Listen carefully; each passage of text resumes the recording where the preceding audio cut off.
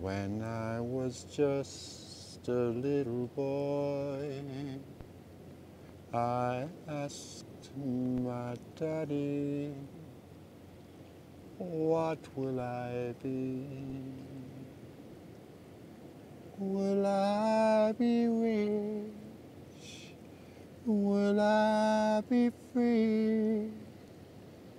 Here's what he said to me. Sera, sera. Whatever will be, will be. The future's not ours to see.